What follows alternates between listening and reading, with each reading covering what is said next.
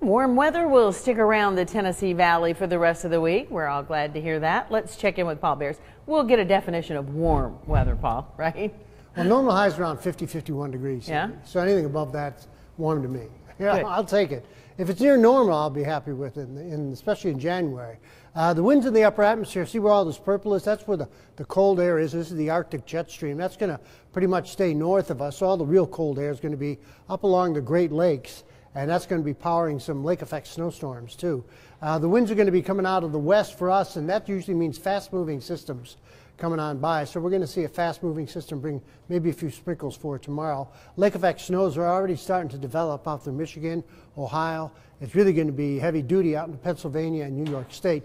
Some showers near St. Louis. Most of that's going to stay north and we could see a few sprinkles for tomorrow, but not a lot.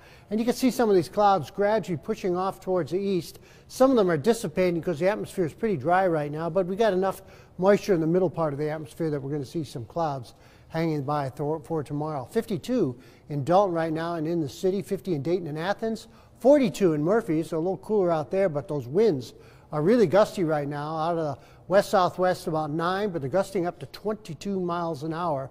So that makes it feel a lot colder, even with temperatures in the 50s. Our high today at the airport was 54.33, the overnight low, and we're about 1.6 inches below normal in rain. So we could use some rain uh, coming up for this month because, as I've said many, many times, winter time and usually late uh, autumn and winter time and spring, if you don't get your rains then, you're going to be in a drought situation probably coming up in the summer. That's why we were so wet last year. So we don't want to get too far behind in rainfall coming up into January and February. 53 uh, for a high today in Dalton and Calhoun, 54 in Chatsworth, also in Summerville, was 53 in Scottsboro.